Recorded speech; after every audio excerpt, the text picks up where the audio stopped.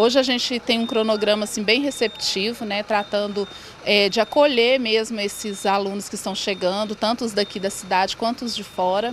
É, a gente preparou todo um, um ambiente para receber, né, a gente está construindo essa, essa volta deles aqui juntamente com eles, tá, trazendo protagonismo. Os alunos que já eram da escola, eles vão nos ajudar a receber os alunos novatos. E como que você tem sentido essa energia? A gente chegou aqui junto com o pessoal que acaba de chegar na escola. Como que você tem sentido a força de vontade desses meninos? Ai, olha, eu estou encantada, muito bom, assim, a ansiedade deles estavam assim a mil, eles mandavam mensagens, tanto os que já eram, né, nossos alunos, quanto os que estão chegando, eles mandavam uma mensagem falando que estão ansiosos para estar tá aqui na escola. Então está sendo um momento muito agradável, muito bom. Bom, Ábia, a gente sabe que é o primeiro ano da escola agrícola aqui no nosso município novamente, nesse ensino, e a gente já consegue ver um sucesso dessa escola aqui na nossa região.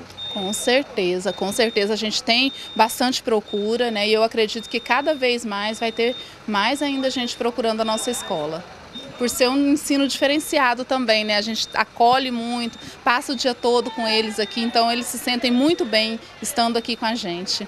E Brandina é moradora de Alto Araguaia. Para ela, ter seus netos estudando aqui na escola agrícola é motivo de muito orgulho. Ele estudava na Escola do Paraíso, né, patrocínio Joaquim Dias. Aí teve essa seleção.